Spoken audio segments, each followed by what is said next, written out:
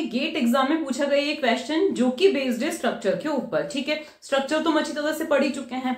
अब यहाँ पे ये स्ट्रक्चर पहले डिक्लेयर किया गया है, जिसका नाम है ऑल नोड ठीक है? इसके अंदर जो मेंबर्स है वो क्या है? तीन कैरेक्टर्स है जिनका नाम है एक्स वाई एंड जेड ये तीन कैरेक्टर्स हैं। अभी इनको मेमोरी एलोकेट नहीं होगी, क्यों नहीं होगी? क्योंकि जब हम स्ट्रक्चर का वेरिएबल डिक्लेयर करते हैं, तभी मेमोरी एलोकेट होती है। तो अभी जस्ट हमने ये स्ट्रक्चर को डिक्लेयर किया है, जिसका टैग है अवर नोड मेन फ़ंक्शन के अंदर हमने स्ट्रक्चर का एक वेरिएबल क्रिएट किया है पी वेरिएबल डिक्लेयर किया है पी अब जाकर इस स्ट्रक्चर को मेमोरी अलोकेट होगी तो कितनी मेमोरी अलोकेट होगी? तो देखो पी को कुछ मेमोरी अलोकेट होगी। कितनी होगी? जितने इसके अंदर मेंबर्स हैं। इसके अंदर मेंबर्स कितने हैं? थ्री मेंबर्स हैं और तीनों ही क्या है? कैरेक्टर्स हैं। तो ये हुआ हमारा एक्स के लिए, ये हुई हमारी वाई के लिए और ये हुई जेड के लिए। इन तीनों को वन वन बाइट मिलेगी।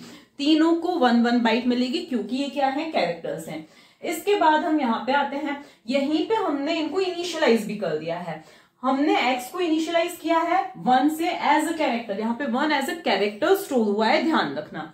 इसके बाद ज़ीरो भी एज अ कैरेक्टर यहाँ पे स्टोर हुआ है।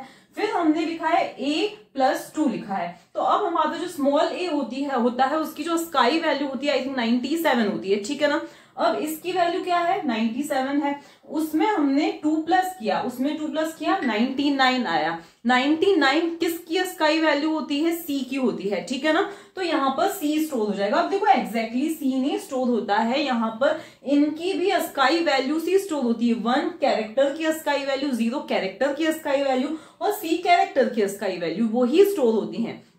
लेकिन क्योंकि हम प्रिंट तो परसेंट सी से कैरेक्टर के फॉर्म में करने वाले हैं, इसीलिए मैंने डायरेक्टली यहाँ पे कैरेक्टर्स लिख दिए हैं, ठीक है? अब हो सकता है स्मॉल ए की स्काई वैल्यू कुछ और हो, लेकिन हम उसमें प्लस टू करेंगे तो ऑब्वियसली सी ही आएगा ए में टू प्लस करेंगे तो ठीक है? इसके बाद हम यहाँ पे आते हैं। अब यहाँ पे ये सब करने से पहले हम अज्यूम कर लेते हैं कि इस स्ट्रक्चर का जो बेस एड्रेस है, इस स्ट्रक्चर का जो एड्रेस है, वो क्या है? 2000 है, हम ऐसा अज्यूम कर लेते हैं, ठीक है? क्या है? 2000 है।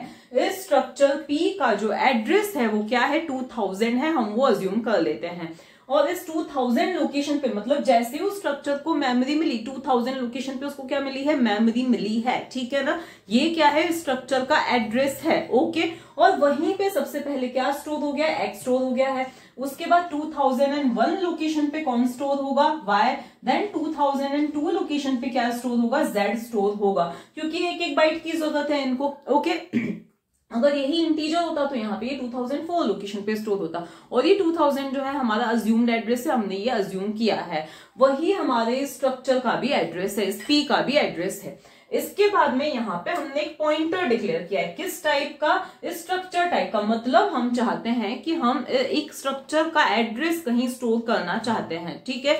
तो स्ट्रक्चर का एड्रेस स्टोर करना चाहते हैं तो स्ट्रक्चर पॉइंटर ही हमें डिक्लेयर करना पड़ेगा। तो हमने इसीलिए स्ट्रक्चर पॉइंटर डिक्लेयर किया है, जिसका नाम हमने क्या दिया है? क्यू दिया है।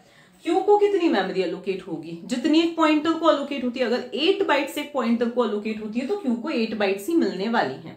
यहाँ पर हम आए, इसके अंदर हमने डाल दिया एड्रेस ऑफ़ पी मैं बार बार आपको बता रही हूँ पी का एड्रेस क्या होगा? हमने अज्यूम किया है टू थाउज़ेंड तो वही एड्रेस किसके अंदर आ जाएगा? क्यू के अंदर आ जाएगा। क्योंकि हमने क्या बोला है कि क्यू के अंदर आ जाए पी का एड्रेस आ जाए। आ गया, यहाँ तक बिल्कुल क्लियर है। इसके बाद में हम यहाँ पे आए। यहाँ पर अब आपको ध्यान से देखना है आउटपुट क्या आएगा। तो यहाँ पे सबसे पहले अगर हम इनरमोस्ट ब्रैकेट को इवेल्युएट करें क्यू क्यू का मतलब क्या है? टू थाउज़ेंड उसको हम कन्वर्ट कर रहे हैं। यहाँ पे टाइप कास्टिंग हुई है। उसको हम एक कैरेक्टर पॉइंटर में कन्वर्ट कर रहे हैं। किसमें कन्वर्ट कर रहे हैं? कैरेक्टर पॉइंटर में कन्वर्ट कर रहे हैं। तो कंटेंट तो उसके वही 2000 लेकिन अब कंपाइलर समझ जाएगा कि ये एक कैरेक्टर पॉइंटर की तरह इस चीज़ को क्या किया जाए? ट्रीट किया जाए। इसको एक कैरेक्टर पॉइंटर की तरह ट्रीट किया जाएगा, ताकि उसमें जो भी हम एरिथमेटिक ऑपरेशन परफॉर्म करेंगे, वो कैरेक्टर पॉइंटर की तरह ही होने वाले हैं। तो ये 2000 है। उसके बाद में हमने उसमें प्लस वन किया। क्योंकि अब ये कैरेक्टर पॉइंटर है तो प्लस वन करने पे जो रिज़ल्ट आएगा, वो क्या आएगा? यहाँ तक का रिज़ल्ट आया है टू थाउज़ेंड एंड वन आया है। यही अगर इंटीजर पॉइंटर होता तो उसमें अगर हम प्लस वन करते तो टू थाउज़ेंड फोर आता। तो यहाँ तक का रिज़ल्ट आया है टू थाउज़ेंड एंड वन आया है। यहाँ तक का result two thousand and one आया है। उस एड्रेस पर रखी हुई वैल्यू क्योंकि यहाँ पे हमने इन डायरेक्शन ऑपरेटर का डी रेफरेंसिंग ऑपरेटर का यूज़ किया है तो 2001 एड्रेस पर रखी हुई वैल्यू 2001 एड्रेस पर जो वैल्यू है वो क्या है? ज़ीरो है। तो आउटपुट में क्या आएगा? ज़ीरो आएगा। उसके बाद हमने लगाया है कॉमा तो कॉमा आ जाएगा। फिर यहाँ पे हमने लिखा है परसेंट सी अगेन हम एक कैरेक्टर प्रिंट करवाना चाहते हैं कौन सा? तो यहाँ पर देखो टू को हमने, क्योंकि ये क्या है टू थाउज़ेंड ये क्यों क्या है, एक स्ट्रक्चर पॉइंटर है। उसको पहले हमने कैरेक्टर पॉइंटर में कन्वर्ट किया। उसमें हमने प्लस टू किया तो रिज़ल्ट आया टू थाउज़ेंड टू आया।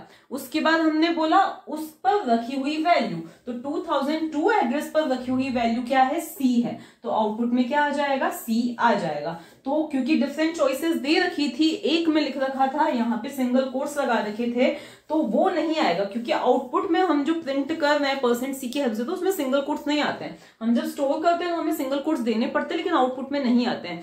तो सिंपली आउटपुट में क्या आएगा? ज़ीरो कॉमा सी आएगा ओके